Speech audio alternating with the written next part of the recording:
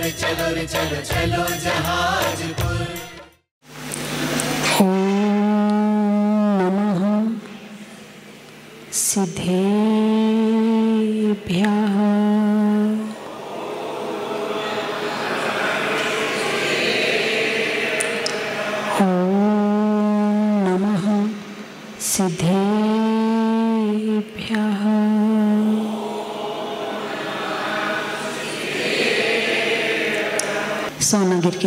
चंद्र भगवान की। भूगर्भ से प्रकटित अतिशयकारी जहाज़ मंदिर में विराजमान श्री मुनि सुब्रतनाथ भगवान की। चिंतामणि श्री पार्शनाथ भगवान की। विश्ववनी श्री महावीर भगवान की। जिनवाणी माता की। परम पूजाचा गुरुदेव श्री सन्मति सागर जी महाराज जी की। धर्म स्नेही बंधुओं आप सबके पास मोबाइल है? अरे बोलिए ना। है।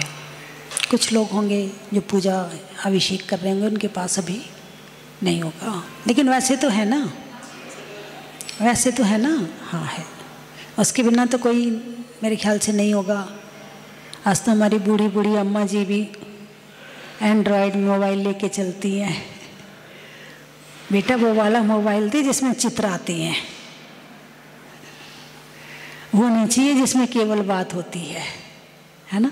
चलिए, आज अपन मोबाइल से समझते हैं क्योंकि आपके सबसे नज़दीक यदि कोई है, सबसे ज़्यादा जैसे साधु के साथ पिछी कमेंडल हमेशा साथ रहता है।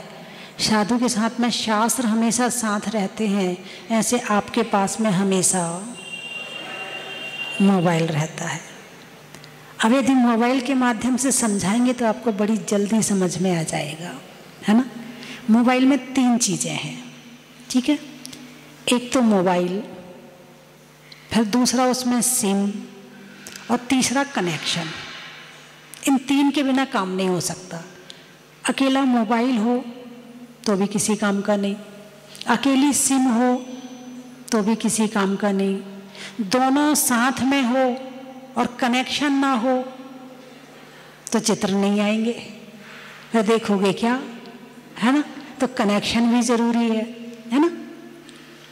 इसी तरह से अकेला शरीर, अकेली आत्मा और अकेला कर्म कुछ नहीं कर सकता है। जब ये तीनों मिलते हैं ना, फिर उठा पटक मचती है। तो मोबाइल हो गया शरीर। सिम हो गई आत्मा। और ये जो कनेक्शन है, यह है कर्म है। दिन भर जो उठाता है, बिठाता है, दिखाता है, सुलाता है, जितने काम दिन भर करते हो, कैसे करते हो? कर्म के कारण। औदैक भाव मन आया भोजन करना। अब आपको तो लगता है, मैं भोजन कर रहा हूँ। लेकिन ये कर्म करवा रहा है। चलो आज तो मार्केट चलते हैं, कुछ सामान खरीद के लाएँगे। भाई, मेरा मन कर रहा है कि मार्केट जाना, मेरा नहीं, आप लोगों का। मन कर रहा है कि मार्केट जाना है, सामान खरीद के लाना है। अब ये मन कर रहा है या कर्म लेके जा रहा है? कर्म लेके जा रहा है। भाई, नींद आ रही है। मुझे बहुत नींद आ रही है। मुझे तो सोना है, बस डिस्टर्ब मत करो। मुझे एकांत में छोड़ दो, मुझे बहुत नींद आ रही है। अब तुम सो रहे हो या कर्म सुला रहा है?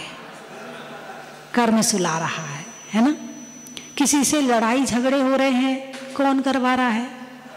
कर्म करवा रहा है। यानी दिन भर में आप मंदिर आए हो, बिना कर्म के आए हो क्या?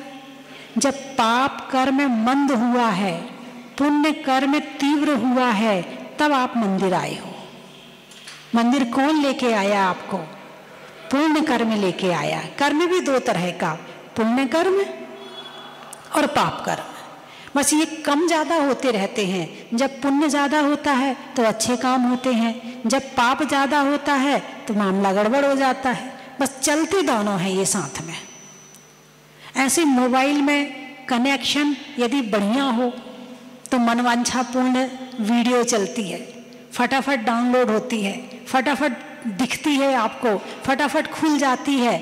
पुण्य का मतलब है कि जो हम चाह रहे हैं, वो काम हो जाए। पुण्य का क्या मतलब है? जो हम चाह रहे हैं, वो काम हो जाए। ठीक है?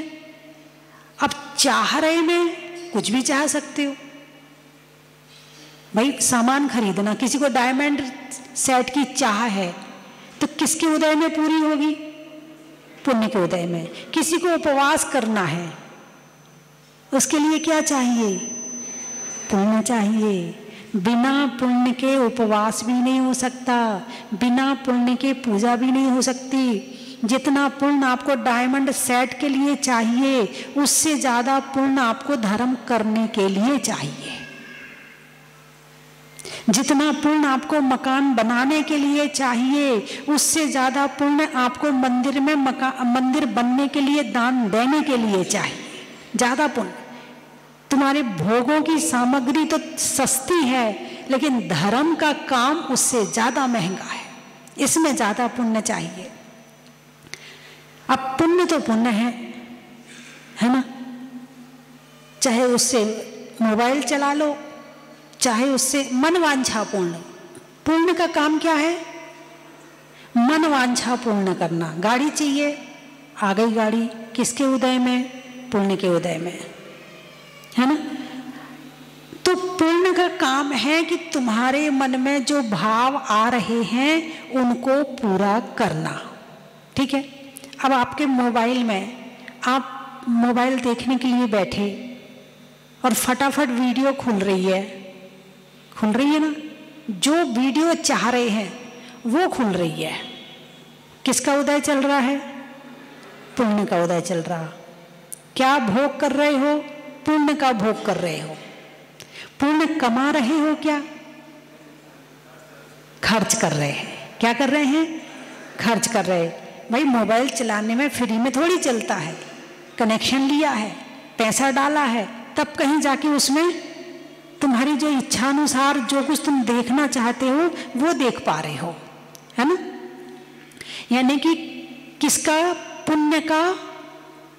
इनडायरेक्ट में तो चाहिए पुण्य, और डायरेक्ट में दिखता है पैसा। पैसा दिखता है है ना? लेकिन जैसे आप मोबाइल चलाते हैं तो इंटरनेट कनेक्शन जो आपने लिया है, वो नज़र आता है क्या? आँखों से दिखता है क्या? बोलिए ना। तो जो चीज़ आँखों से दिखती है, नहीं है, उसको हम कैसे मान लें? अरे बोलिए ना, कुछ लोग कहते हैं ना, क्या होता है कर्म? कुछ नहीं होता है। कोई स्वर्ग नरक नहीं है। कोई कुछ नहीं होता है। ये सब अगला जन्म बनम कुछ नहीं होता है। ये तो सब यहीं का यहीं मिल जाता। कुछ लोगों का कहना ये है, जब दिखता नहीं है तो माने क्यों? खाओ पियो, मौज करो। कुछ लोग ऐसा मानते कि नहीं मानते हैं। तो इंटरनेट कनेक्शन दिखता है क्या आँखों से? लेकिन उसके बिना मोबाइल चल सकता है क्या? नहीं चल सकता है। ठीक ऐसे ही कर्म दिखता नहीं है, मगर कर्म के बिना कोई काम होता नहीं है। यदि एक पलक भी झपकनी हो ना तो पुण्य कर्म चाहिए। यदि पाप कर्म आ गया तो जो कुछ बीमारी होती है, इसमें पलक उठा नहीं पाते हैं। होती है बीमारी, ऐसी कुछ बीमारी होती है कि पलक एक बार गिर गई तो उठा नहीं सकते हैं। यदि तुम्हारी पलक झपक रही है तो पुण्य के उदय में। तुम सांस ले रहे हो तो पुण्य के उदय में। तुम सुन पा रहे हो तो पुण्य के उदय में। तुम अच्छा बोल पा रहे हो, पुण्य के उदय में। तुम तुम्हारा शरीर चल पा रहा है। पुण्य के उदय में ये कम हो जाए ना, वहीं बैठ जाएगा। वहाँ से हिल नहीं सकता है। एक एक उंगली हिलाने के लिए भी पुण्य चाहिए। अब एक तो होता है पुण्य का उपयोग करना है जैसे पैसा है। एक पैसा तो आप अपने घर में खर्च करते हो, है ना? घर में खा रहे हो, पी रहे हो, भोग कर रहे हो। जो घर में खर्च कर रहे हो, उससे पैसा नहीं आएगा। क्या? वो भोग कर रहे हो। खा लिया, खत्म हो गया। खा लिया, खत्म हो गया। लेकिन जो पैसा आप व्यापार में लगा रहे हो, भाई, एक ग्राहक आया। डायमंड सेट की दुकान है, हीरे जवाहरात की दुकान है, और एक बड़ा, बड़ी मोटी पार्टी आई, सेठ ने देखा अच्छा बढ़िया सामान खरीदेगा। जैसे ही वो आया, उसने नौकर को इशारा किया, भैया, चाय लेके आ। क्या कर? चाय लेके आ। वो फटाफट गया, बोले, बढ़िया वाली लेके आना, बढ़िया ट्रे में लेके आना, सारी चीज़ बढ़िया होनी चाहिए। उस इशारा कर दिया। नौकर भी पहले का समझदार नौकर था, बढ़िया, बिल्कुल पूरी तैयारी के साथ सब कुछ लेके आया और चाय पिला रहे हो। अब तुम खर्चा कर रहे हो कि नहीं कर रहे पैसे का? वो चाय पी रहा है तो तुम उसे फ्री में पिला रहे क्या? वो चाय तुम्हारी, पता नहीं क्यों नोट लेके वापस आएगी। और एक चाय तुम होटल में जाके पीते हो। वहाँ पैसा लग रहा है, और यहाँ भी पैसा लग रहा है, लेकिन वहाँ का पैसा वापस नहीं मिलेगा। वहाँ तुम भोग कर रहे हो, लेकिन यहाँ तुम बीज डाल रहे हो वापस लाने के लिए। ऐसे ही बहुत से लोग मोबाइल देखते हैं, है ना? तो बस वो केवल टाइम पास करने देखते हैं। ये वीडियो खोलो, वो वीडियो खोलो, वो देखो, ये फेसबुक वो फेसबुक ये, वो, अपना खोल रहे हो, देख रहे। ये क्या हो रहा है? भोग हो रहा है। किसका भोग हो रहा है? पुण्य का भोग हो रहा है। पुण्य खर्च कर रहे हो।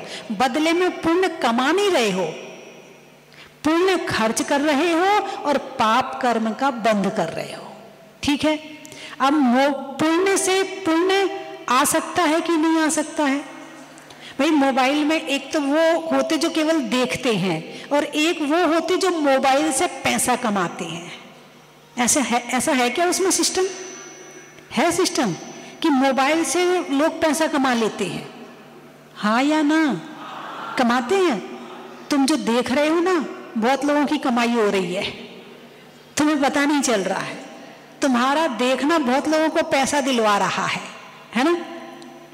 तो कुछ लोग ऐसे होते हैं जो मोबाइल में से पैसा भी कमा लेते वीडियो बना के डालते हैं, इसकी वीडियो, उसकी वीडियो, ये एडवर्टाइजमेंट ये ऐसा कोई भजन डाल रहा है, कोई कुछ डाल रहा है, कोई कुछ डाल रहा है और पैसे उनके बन रहे हैं, है ना? तो मोबाइल एक तो देखना और एक उसमें से देख करके पैसा कमाना। दो चीज़ें हो गई ना? ठीक ऐसे ही हमारा जीवन। एक तो पुण्य खर्च करना, एक तो पुण्य खर्च करना और दूसरा पुण्य खर्च करके पुण्य कमाना। बात समझ में आई कि नहीं? वही मोबाइल वाली बात, है ना? एक जीवन जीना और एक जीवन जीने में जो पुण्य लग रहा है, वो पुण्य खर्च किए जाना, कमाना नहीं। और एक है कि जीवन जी भी रहे हैं और पुण्य भी कमा रहे हैं और अगला जन्म बना रहे हैं। अब जीवन किस तरह का जी रहे हो आप, ये देखने वाली बात है। केवल आपको मोबाइल देखना है, बस मज़ा आ रहा, देखे जा रहे टाइम पास हुआ जा रहा, खत्म। और एक देख रहे सावधानी से, क्या डालना है, कैसा डालना है, क्या देखना है, क्या नहीं देखना है इस बात का ज्ञान है और फिर उसमें से कमाई कर रहे हैं। ठीक है? चीज़ तो एक ही है ना। जो आपके हाथ में वही मोबाइल उनके हाथ में है और वही मोबाइल आपके हाथ में है। जिन आँखों से आप देख रहे हो उन्हीं आँखों से वो भी देख रहे हैं। जिन आँखों से आप सुन रहे हो उन्हीं आँखों का, कानों से आप सुन रहे हो उन्हीं कानों से वो सुन रहे हैं, सब कुछ वही है। ऐसे ही शरीर आपका भी है, शरीर औरों का भी है, आत्मा आपकी भी है, आत्मा औरों की भी है। कोई इस जीवन को बहुत अच्छा बना लेता है और कोई इस जीवन को बिगाड़ लेता है। एक पानी की बूंद। जब किसी नीम के पेड़ में जाती है तो कड़वी हो जाती है। पानी की बूंद। यदि गन्ने में जाती है तो मीठी हो जाती है। पानी की बूंद। यदि सीप में जाती है तो मोती बन जाती है। पानी की बूंद। यदि भगवान के सिर पर चली जाए तो गंदोदक बन जाती है। अब आपके मोबाइल में सब कुछ है। नीम भी है, करेला भी है और सीप भी है और सांप के मुख में चली जाए तो जहर बन जाती तो तुम्हारे मोबाइल में सांप भी है। अरे बोलिए ना, तुम्हारे मोबाइल में सांप भी है। अब अपने मोबाइल से तुम अपने जीवन को क्या बना रहे हो, ये देखने वाली बात है। मोबाइल में प्रवचन भी है, मोबाइल में भजन भी है मोबाइल में समय सार भी है, मोबाइल में तत्वार्थ सूत्र भी है, मोबाइल में सामायिक पाठ भी है, मोबाइल में समाधि मरण भी है, मोबाइल में मेरी भावना भी है, मोबाइल में जो आप बच्चों को कार्टून दिखाते हो तो वो ना दिखा करके जो अपनी जैन धर्म की कहानियाँ हैं, उस तरह की वो वीडियो हैं तो उसमें वो भी है। अब तुम क्या देखते हो? ये देखने तुमने संगति किसकी करी है? तुम्हारी उंगली कहाँ दबी है? किसने दबी, किसको टच किया है? वो देखने वाली बात है। यदि आप मोबाइल में प्रवचन सुनते हैं, यदि आप मोबाइल में भजन सुनते हैं, यदि आप मोबाइल में दुख हरण बिनती सुनते हैं, यदि आप मोबाइल में समाधि मरण सुनते हैं, यदि आप मोबाइल में तत्वार्थ सूत्र सुनते हैं तो इसमें आप पता क्या कर रहे हैं?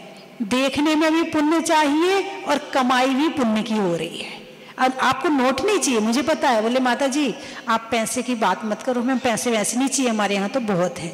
ठीक है, मालूम है, आपके यहाँ पैसे बहुत हैं, लेकिन पुण्य रूपी पैसा, वो तो आपका अपना पर्सनल बैलेंस है, वो आपको कोई दे नहीं सकता है, वो आपको ही कमाना पड़ेगा।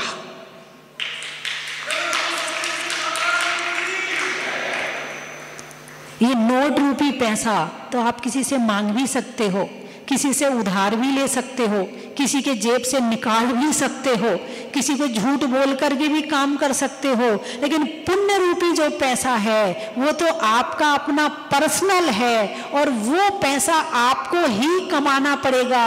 ना पुण्य उधार लिया जा सकता है, ना उधार मांगा जा सकता है, ना कोई बाप बेटे को दे सकता है, बेटा बाप को दे सकता है। तुम अपनी कमाई हुई संपत्ति बेटे को दे सकते हो, लेकिन तुमने जो जीवन भर पुण्य कमाया है वो तुम बेटे को नहीं दे सकते हो। बेटे को अपना कमाना पड़ेगा। जैसे कनेक्शन सबके मोबाइल का कनेक्शन अपना अपना होता है। सबके नाम से मोबाइल होता है। सिम होती ना सिम नाम से खरीदते हो ना? ये इसके नाम की, ये उसके नाम की। अब देखे कोई वो बात अलग है। ऐसे आत्मा हमारी सबकी अपनी अपनी है। अब हम उपयोग किसके लिए कर रहे हैं? वो बात अलग है। हम ये उपयोग अपने लिए कर रहे हैं या दूसरों के लिए कर रहे हैं? अकेली आत्मा हो तो सिद्धालय में चली जाएगी। कर्मों से रहित आत्मा हो तो मोक्ष में चली जाएगी। कोई एक्टिविटी नहीं है, स्थिरता है। कोई एक्टिविटी नहीं, बस ध्यान ध्यान ध्यान ध्यान। और लीनता है वहाँ। ध्यान करते नहीं है, लीनता है। और ध्यान की ज़रूरत ही नहीं, ध्यानातीत हो गए। अब वो आत्मा के द्वारा आत्मा में ही समा गए हैं। तो ऐसे सिम अकेली हो तो कुछ नहीं हो सकता। मोबाइल अकेला हो, अब शरीर में से आत्मा निकल गई और शरीर पड़ा है। अब कुछ होगा? अरे बोलिए ना, नहीं होगा। हैं? नहीं होगा। और सिम और मोबाइल है, मगर कर्म नहीं है तो भी कुछ नहीं होगा। और सिम और मोबाइल आ गए और कनेक्शन आ गया। बस, फिर तो सारी उठा पटक, सो रहे हैं तो मोबाइल, जाग रहे हैं तो मोबाइल, खाने बैठे तो मोबाइल, है, किसी का मैसेज आया तो पहले मोबाइल, किसी से बात करना है तो मोबाइल, कुछ जरा सा एक क्षण का भी टाइम मिला तो क्या हाथ में आता है? अरे बोलिए ना मोबाइल हाथ में आ जाता है। एक क्षण का भी टाइम पलक झपकने के बराबर भी टाइम मिले। अभी ए, कुछ बच्चों से मेरी चर्चा हुई। बोले माता जी कभी कभी इतनी टेंशन हो जाती है। इतनी टेंशन इतना दिमाग चलता है इतना तेज़ी से घूमता है। इतना तेज़ी से घूमता कि हम खुद कंट्रोल नहीं कर पाते अपने दिमाग को। क्या कहा? कौन कह रहा है? बच्चे कह रहे हैं। उम्र होगी मुश्किल से पंद्रह, सत्रह साल की। ज़्यादा से ज़्यादा अठारह साल मान लो। बोले माता जी दिमाग इतना घूमता है। शरीर में जितनी चीज़ें बढ़ती हैं, वो एक उम्र तक बढ़ जाती हैं। लेकिन सारी ज़िंदगी यदि विकास होता है तो मन का विकास होता है, दिमाग का विकास होता है। है ना? अब जैसे चलते हैं लोग, कोई धीरे चलने वाला है तो चाल कैसी हो जाएगी आपकी? धीमी हो जाएगी। किसी जल्दी चलने वालों के साथ आप एक साल तक रोज चलो तो आपकी चाल कैसी हो जाएगी? तेज हो जाएगी ना? संगति का असर आया कि नहीं आया? आया ना? ऐसे ही मोबाइल चलने वाला है और स्पीड से चलने वाला है। तो इस मोबाइल से हम जितना मन को कनेक्ट करेंगे, हमारा मन में भी उतनी तेज़ी आएगी। क्या आएगी? तेज़ी आएगी। और जितना ज़्यादा मोबाइल से संपर्क होगा, उतना दिमाग चलेगा। और जितनी मन को चलने की आदत हो जाएगी तो मोबाइल भले बंद कर दो, लेकिन ये चलता रहेगा। फिर इसको संभालना मुश्किल हो जाएगा। यदि अपने मन को शांत रखना चाहते हो तो जितनी ज़रूरत है, उतने मोबाइल का उपयोग करो और बाकी का छोड़ दो। यदि इसको शांत रखना चाहते हो तो और ये शांत है तो जीवन शांत है। ये सेट है तो जीवन सेट है, और ये अपसेट है, जीवन अपसेट है। अब मोबाइल ने दिमाग को तो तेज कर दिया। लेकिन दिमाग को तेज करने के बाद दिशा दी क्या मोबाइल ने? कि किस मोबाइल को किस दिशा में जा, मन को किस दिशा में जाना है? मन को कौन से विचार देने हैं? मन को क्या ऐसा विषय दें कि वो उस पर चिंतन करे, मनन करे? मोबाइल ने दिमाग तो तेज कर दिया, मगर विषय आपके पास है नहीं। और जब विषय है नहीं और दिमाग तेज हो गया तो जैसे वो जिन्न होता ना, जिन्न, कोई सिद्ध कर ले तो क्या होता है? एक व्यक्ति ने एक जिन्न सिद्ध किया। आ गया। बोले, मांगो। बोले, मकान बना दे। बना दिया। बोले, और बोलो। बोले, कुआँ खोद दे। कुआँ खोद दिया। मिनट में कुआँ खोद दिया। उसने पचास जितने उसके काम थे, उसने सब करवा लिए। अब बोले फिर बताओ। बोले पचास मिनट में पचास काम हो गए। अब तेरा साथ तो मैं छोड़ूँगा नहीं। तूने तो मुझे सिद्ध किया है। बोले, काम बता, वरना तुझे खा जाऊँगा। क्या बोला? काम बता, वरना तुझे खा जाऊँगा। ऐसे ये मन है। तुमने मन प्राप्त तो कर लिया है, मगर मन को चलाना नहीं सीखा है, इसीलिए ये मन तुम्हें परेशान कर रहा है। और इस मन को चलाना आ जाए तो ये मन तुम्हें मोक्ष भेज देगा। जैसे तुम्हें घर में क्या क्या सामान रखना है, कबाड़ नहीं रखते हो। जो सामान अच्छा होता है, वही घर में रखते हो। ऐसे ये मन भी हमारी आत्मा का घर है। ये दिमाग भी हमारी आत्मा का घर है। इसके अंदर क्या क्या रखना है, इस बात का ज्ञान होना ज़रूरी है। किसी ने निंदा करी, वो भी रख ली। किसी ने बुराई करी, वो भी रख ली। टीवी में न्यूज़ सुनी, वो भी रख लिया। किसी ने राजनीति की बात करी, वो भी रख ली। यानी जितना कबाड़ था वो हमने इकट्ठा दिमाग में कर लिया। फिर कहते माता जी मन नहीं लगता कहीं। मन बहुत परेशान रहता है। विचार अच्छे नहीं आते हैं। अब दिमाग में कबाड़ भर रखा है तो कहाँ से अच्छे विचार आएँगे? स्वाध्याय करो, तत्व चर्चा करो, द्रव्यों को समझो, लेशिया को जानो, आत्मा को जानो, परमात्मा को जानो जीव तत्व की व्याख्या को समझो, फिर आके कहना कि माता जी मन नहीं लग रहा। कह ही नहीं सकते हो।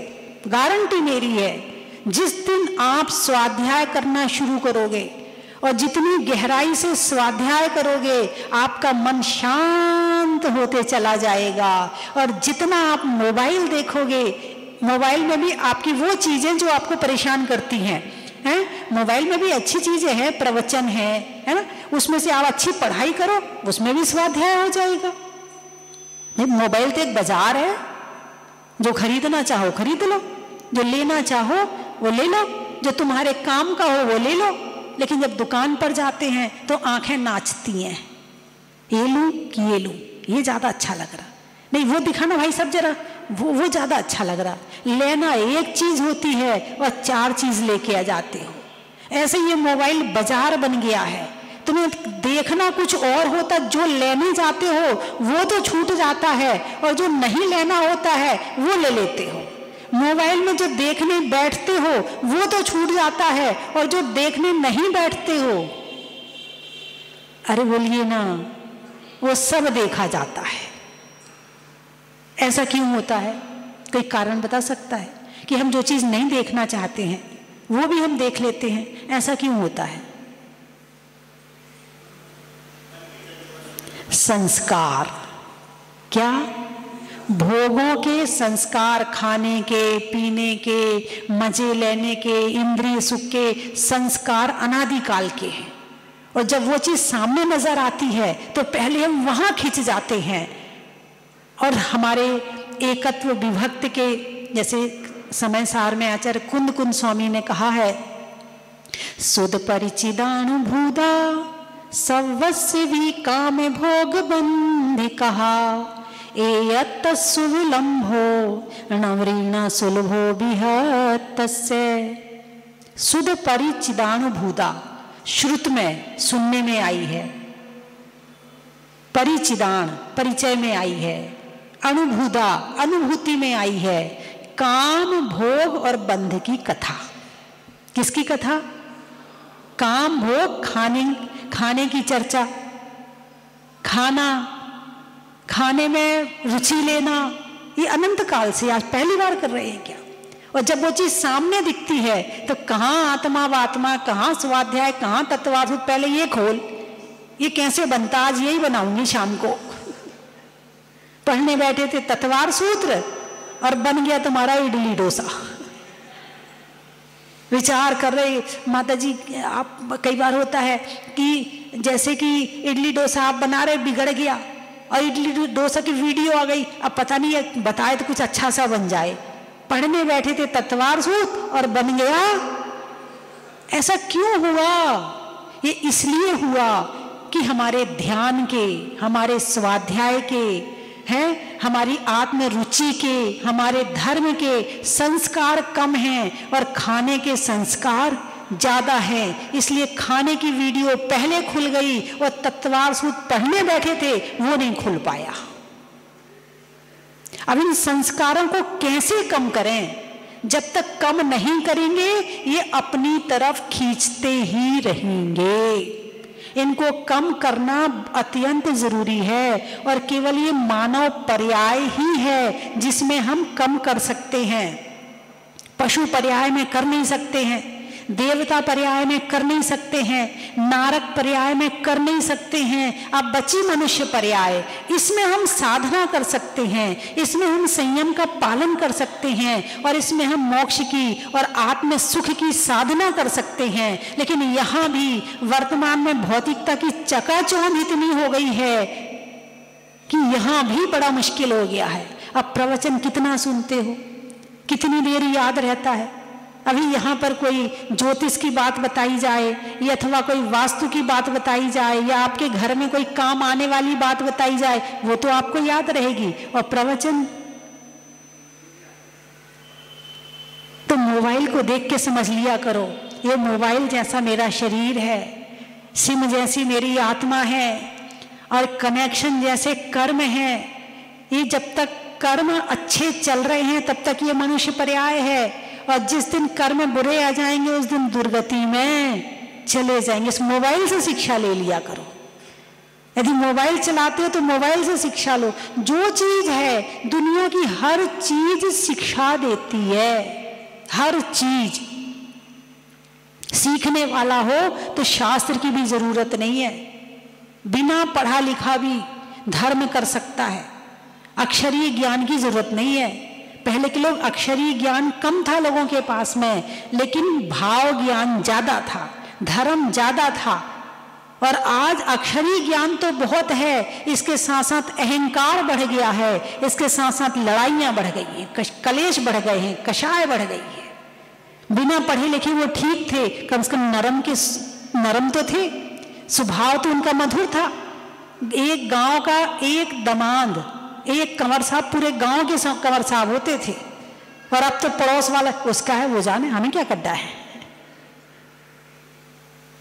बोली ऐसा है कि नहीं है? तो प्रेम खत्म हो गया, वो आत्मीयता खत्म हो गई। ये मत सोचो कि आत्मीयता लोग महसूस नहीं करते। एक आप गाय पर भी हाथ फेरो ना तो वो भी समझती आप किन भावों से फिर रहे हो?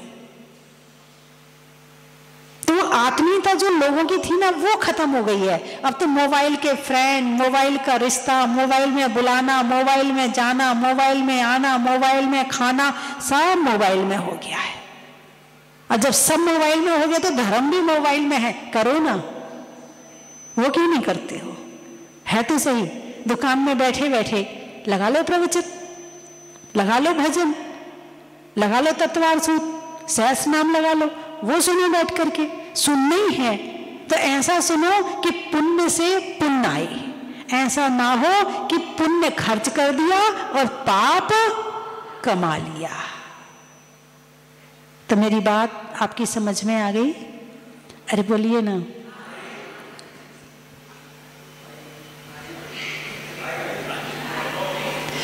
हमारे यहाँ ऐसे कहते खा ना, आ ना।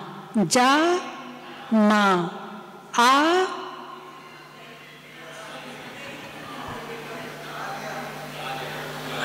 आ के साथ गया ज़रूर लगाते हैं।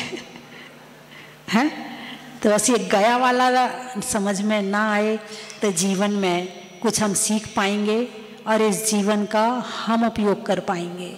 वरना हमारे जीवन का उपयोग ये मोबाइल कर रहा है, पाप कर रहा है।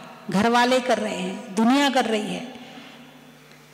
हाँ अच्छी बात है, यदि आप किसी के काम आ रहे हैं, आपके माध्यम से प्रभावना हो रही है, आपके माध्यम से जिन धर्म में आगे बढ़ रहा है तो ये अच्छी बात है। उसमें भी पुण्य से पुण्य आ रहा है। आप किसी के लिए भलाई तो कर रहे हैं ना तो उसमें भी आपका अच्छे से अच्छा ही आ रहा है। लग भी पुण्य में रहा है और बदले में भी पुण्य आ रहा है। तो बात अकेले पुण्य की नहीं है, क्योंकि पुण्य भी कर्म है और पाप भी कर्म है, और हमारे भगवान इन दोनों से ऊपर है।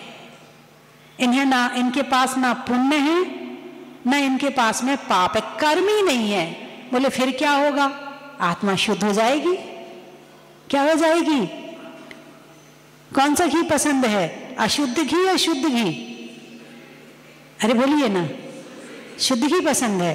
नकली वस्तु पसंद है कि असली वस्तु पसंद है? असली। और भाव? माला फेरने बैठते तो भाव असली होते हैं, नकली होते हैं? माला में मन होता है या मन कहीं और होता है? कहीं और होता है तो नकली हो गई नहीं माला फिर?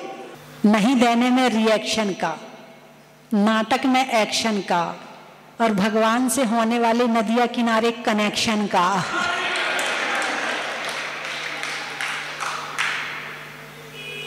लगाने में नारे का, भगवान के द्वारे का और विधान होने में नदिया किनारे का। कौन सा विधान होगा? हाँ चलने में, पात का, मित्रों में, सात का और होने वाले विधानों में मुनि सुव्रत नाथ का। पेड़ में तने का, गर्मी में पने का और विधान में बैठने का। निधियों में मारवक का, विद्वानों में चाणक का और भगवान के जन्म कल्याणक का। आत्मा में एक का, मनुष्यों में नेक का करने में भगवान के अभिषेक का। सावन की घटा का, रसोई में पटाका और राजस्थान में कोटा का। नदी में नाव का, शरीर में पाव का और कोटा वालों के अच्छे अच्छे भाव का। तो आज तो तलवंडी वाले भी आ गए। और कहा? कृष्णानगर वाले भी आ गए। रामपुरा वाले भी आ गए। बहुत सी बार भगवान के दर्शन का लाभ मिला। आज पहली बार शांतिधार और अभिषेक का लाभ मिला। मन बहुत प्रसन्न हुआ और यहाँ की व्यवस्थाएँ बहुत अच्छी हैं। हमने बहुत तीर्थ क्षेत्रों की वंदना की है, दर्शन किए हैं। बाकी जहाजपुर जैसी व्यवस्था अपने आप में अनोखी और अनूठी है। ये भी अच्छा लगा, सभी व्यवस्थाएँ भी अच्छी है। इसके लिए कमेटी को बहुत बहुत धन्यवाद।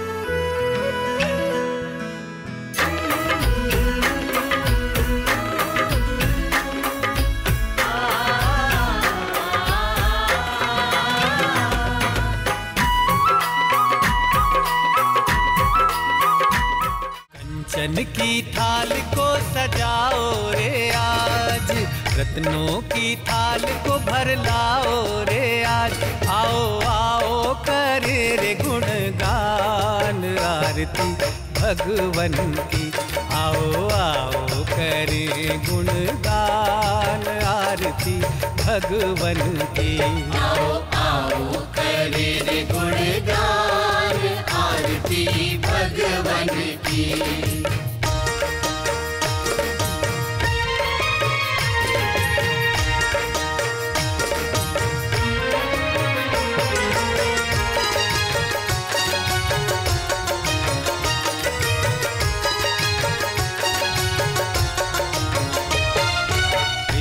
सुमित्र के राज दुलारे पद्मा जी के नैनों के तारे। पिता सुमित्र के